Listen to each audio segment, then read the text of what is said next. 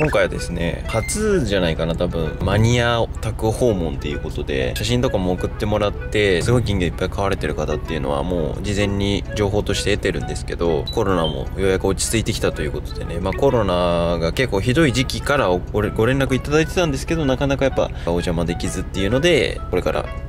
行ってきます。ではね到着したんで早速お邪魔したいと思います。ということでやってまいりました。このお庭の一角の秘密基地ですね。ザ・金魚マニアという感じで大きい水槽が3つですね。120センチ水槽と90センチ水槽と60センチ水槽かな。でここにフードタイマーがあってこれ僕使ったことないんですけどこれで餌を夏場はしっかりあげてるっていう風におっしゃってました。でここの一番大きい水槽の子たちが、まあ、とにかくバカでかい金魚たちが入っている水槽で合計5匹かな。あの1匹1匹後ほど紹介するんですけどとにかく綺麗。そしてでかい。こんなバカでかい金魚僕多分実物見るのは割と初めてレベルですね。で90センチ水槽の方にも同じぐらいの子たちがいて、まあ、ここはみんな長物ですね。こっちは3匹入ってもうとにかくバカでかい。もう熱い。そしてこのスポンジフィルター、僕もあの最近屋外水槽こんな感じのスポンジフィルターにだいぶなってきましたけど金魚好きたる感じのスポンジフィルターといいますか緑のスポンジフィルターが味があっていいですよね。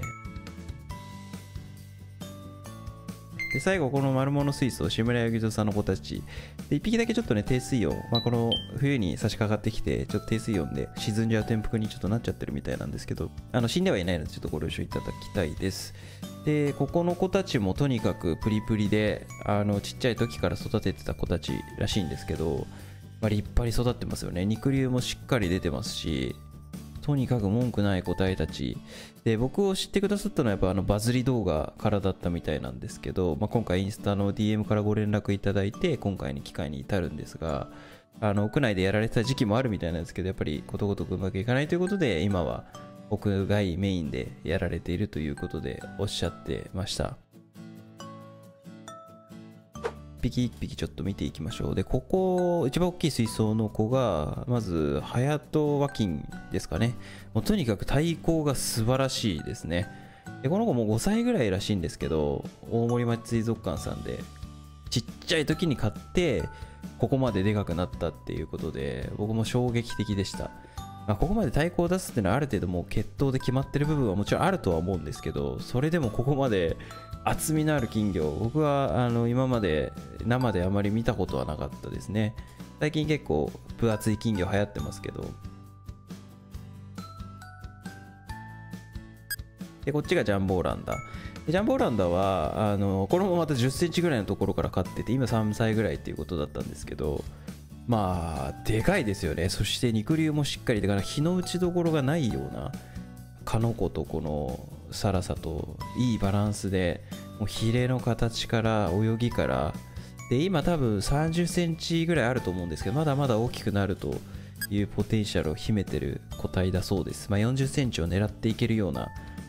ジャンボオランダもいるんでね、まあ、そういう子なんじゃないかなというのは見てわかる通り、まあ、とにかく色が綺麗。やっぱ屋外ならではの色といいますか。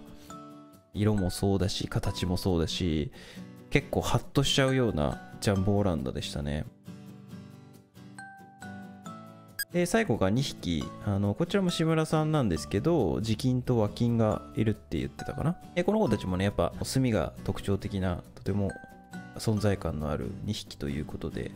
まあ、うちにもオーロラ1匹いますけどオーロラとはまたちょっと違った魅力がある魚かなと。とにかくねあのでかさとまあ2匹はちっちゃいですけど迫力のあるバランスの取れた水槽になってるんじゃないかなと。緑の感じと綺麗な赤の感じととってもバランスよく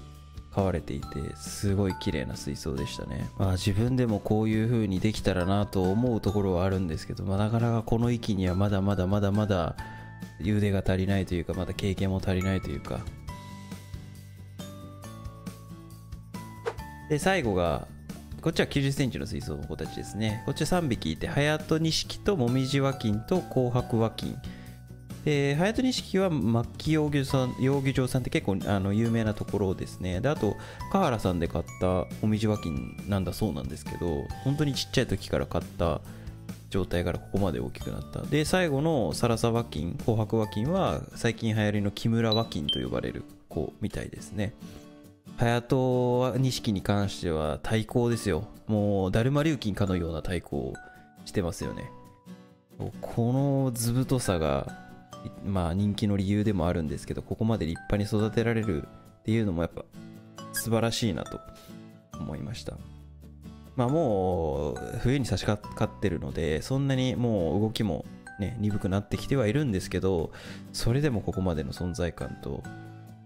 とにかく綺麗。この何ていうのかな透明輪。そしてなんか最近流行りのミルクカウランチューみたいな色味なんですけどボテボテの和金たち。丸物に引けを取らないぐらいの丸さを兼ね備えた長物たちは僕の中で長物の歴史が変わったそんな一日でしたね。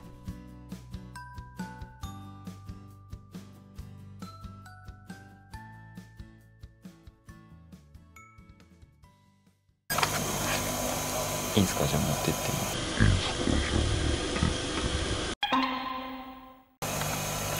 本当にいいんすかもらっちゃって。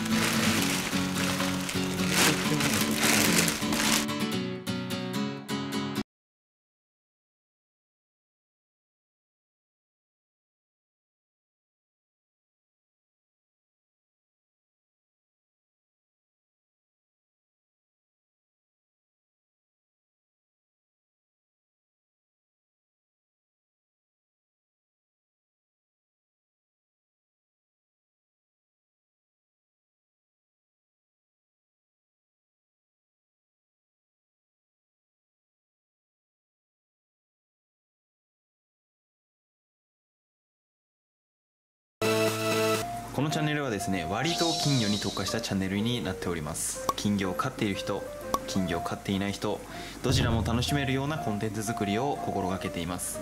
金魚とは別にですね犬のチャンネルも運営しておりますのでそちらの方ももしよろしければチャンネル登録よろしくお願いいたします、えー、皆様の日々の応援の声が活動の励みになっておりますのでぜひぜひチャンネル登録して、えー、動画をチェックしていただければと思います。それでは別の動画でお会いしましょう。